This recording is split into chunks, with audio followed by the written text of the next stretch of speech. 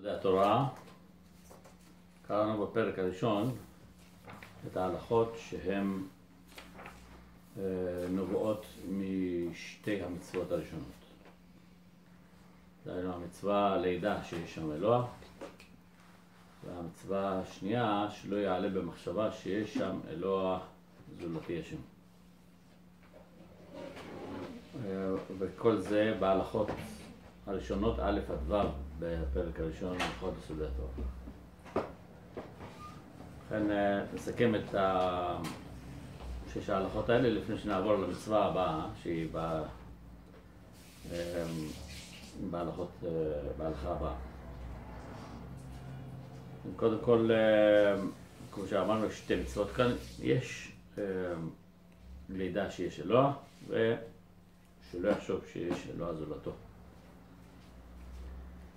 קודם כל הרמב"ם פירש כאן מה זה אה, מציאות של מצוי, אה, מצוי לעומת מציאות של נמצאים. מצוי הזה הוא מצוי אמת, מחויב המציאות, הוא סיבת מציאות עצמו, והוא ממציא כל הנמצא. ונראה שהרמב"ם מבין שזה, כשהתורה אומרת השם, שם הוויה, היא מתכוונת לזה, למצוי הזה. במקום אחר הרמב"ם פירש מה הקשר בין השם, שם הוויה, האותיות האלה, י' וכולי, למציאות שלו. דבר נוסף שהרמב"ם אה, עשה בהלכות האלה, הוא שהוא אמר שהוא אדון העולם והוא מנהיג הכל. אה, אדון העולם, פירשנו אה, שהוא אה, נכבד מכל מה שיש. המעלה שלו נובעת מזה שהוא ממציא והם נמצאים. אה, מה שאמרנו קודם. ומנהיג הכל, פירושו, פה כתב אדון כל הארץ, אבל בהלכות תשובה הוא הביא את המילה מנהיג. פירושו שכל מה שקורה, כל מה שיש בעולם, זה ממנו. הוא סיבת כל מה שיש, כל מה שמתרחש. והחידוש של כל האמירות האלה הוא שהדברים האלה שאמרנו על השם, שהוא מצוי וממציא כל הנמצא, ושהוא האדון ושהוא המנהיג, זה מצוות עשה. אנוכי השם אלוהיך, הדיבר הראשון בעשרת הדיברות, ולא יהיה לך אלוהים אחרים על פניי, הדיבר השני. שתי המצוות הראשונות שנצטוו ישראל במעמד הסיני. טוב, כמה הערות על זה. אה, דבר ראשון, אה, הפסוקים האלה שהרמב"ם מביא, אנוכי השם אלוהיך ולא יהיה לך אלוהים אחרים על פניי, וגם הפסוק אה, אין עוד מלבדו, אפשר לפרש אותם על דרך הפשט וגם באופן אחר, אבל זה לא ענייננו כרגע לעסוק בפשוטי המקראות.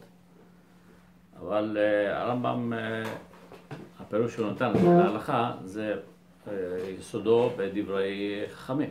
כן. כמו שאמרו, אנוכי ולא יהיה מפי הגבורה שמעום כמצוות. לכן הרמב"ם מביא את זה כאן.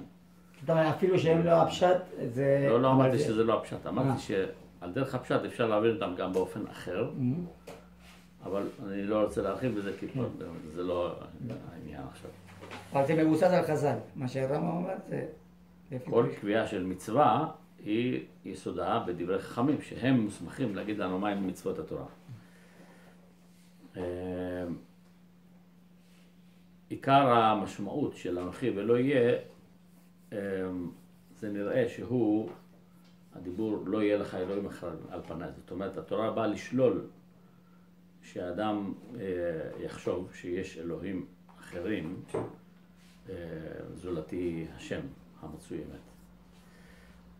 אה, אבל בכל זאת, אנוכי, למרות שהוא כמו טפל, לא יהיה לך אלוהים אחרים על פניי, בכל זאת זה מצוות עשה, למה? כי זה נכתב בלשון עשה ולא תעשה. והדבר הזה צריך לבאר אותו יותר, אבל כרגע אני רק מסכם, אז אני לא רוצה להיכנס לזה שוב יותר. מכל, מכל הדברים האלה שאמרנו כאן, בהלכות האלה הראשונות, אנחנו רואים שלילה של כל מיני תפיסות אה, אה, שלדעת הרמב"ם הן תפיסות אה, מוטעות והן כפירה. אז יש כאן שלילה, קודם כל, של האתאיזם כמובן. האתאיזם אומר, אין, יש עליון. כמובן גם שלילת הניהיליזם, שאומר אין שום דבר, שום דבר אין לו ערך. שום דבר לא אמיתי וכן הלאה. יש כאן שלילה של הפנתאיזם, דהיינו שחושב ש... שהעולם הוא אלוהים, כל, כל מה שיש זה אלוהים, ושלילה גם של הפננתאיזם, דהיינו שיש משהו אה, גדול ועצום, אה, והוא האלוהים, ואנחנו חלק ממנו. כמובן זו שלילה גם של זה, מאחר ש... להיות חלק ממשהו, אז uh, הוא, הוא, הוא דומה במהותו לאותו הדבר שהוא חלק ממנו.